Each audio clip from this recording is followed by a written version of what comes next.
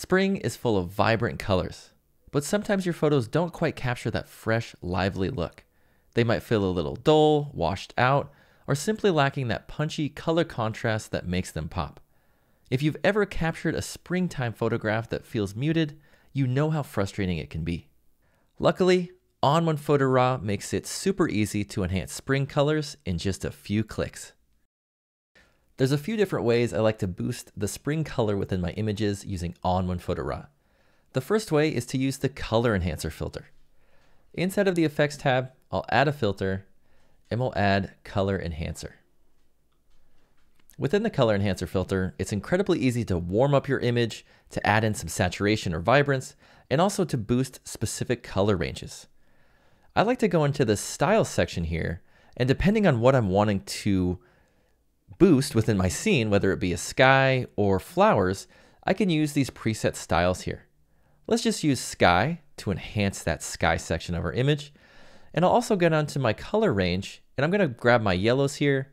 Let's pull up on the saturation a little bit and I'll add in a little bit of brightness there. So with this one filter, if we turn this off and on, it's doing a whole lot to boost those colors within our spring photograph. Another way to enhance those spring colors within your images is to use the edit color filter. I like to use the edit color filter when I'm looking to modify more specific color ranges within my spring captures. So in the effects tab, I'll add a filter. Let's add edit color. And within the edit color filter, I typically grab this color dropper and I'll use it to target the specific color that I want to modify. Let's target the leaves and stems of the flowers. So I'll just grab a color. And then we can use the saturation and lightness slider to enhance the color and also give them a bit more light. So I'll pull up on the saturation slider and then I'll brighten them up. You can see it's doing a really great job, just giving a lot more life into that section of the image. Now we can also use it for the other colors within our image as well. So let's use it for the actual flowers themselves.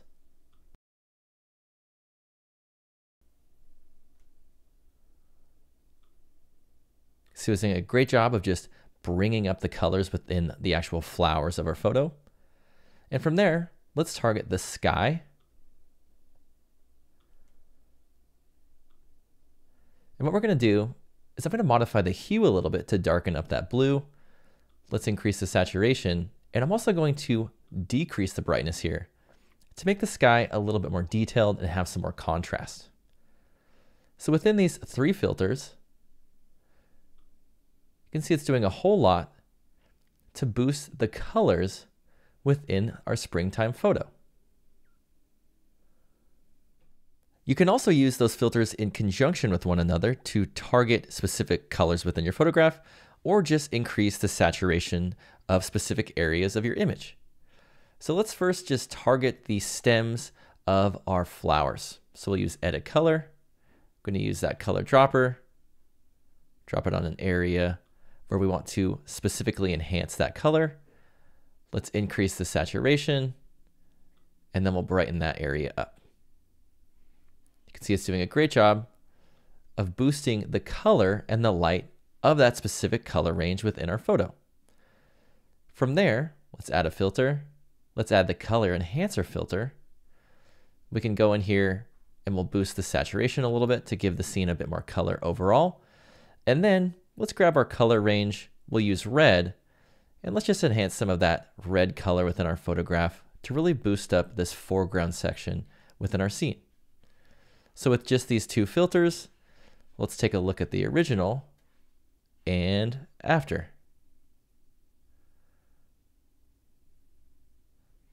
So using the color enhancer filter and the edit color filter, you can easily boost those springtime colors within your photos.